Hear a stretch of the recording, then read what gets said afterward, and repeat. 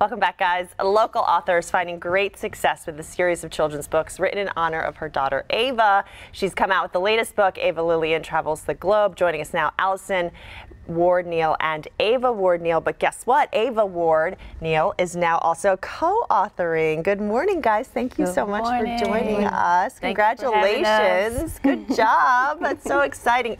Let me ask you how old you are first. Seven. Oh my goodness, seven and you're already writing these books.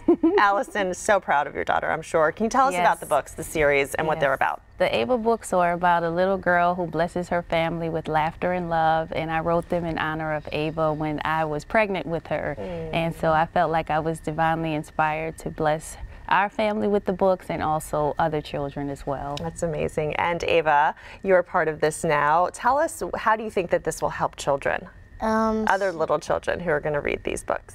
because they can, they can also learn about other kinds of places. Mm -hmm. And there's a new book, right, that you were telling us about where Ava is going to go. What's the title of that book? The she blasts off. She blasts off somewhere. Yeah, to space. blasts off into space. so creative. And that's the whole point is to just inspire, inspire people, right? I'm sure Yes. Allyson is to let them feel the same way that you feel when you're writing these books. Yes, we started off with Ava being a baby, and then we kind of moved on into her toddler years and traveling. And so the new book, Ava, can you tell us about the new book? What's the title? Um, Ava Lillian Travels the Globe. And what did she do?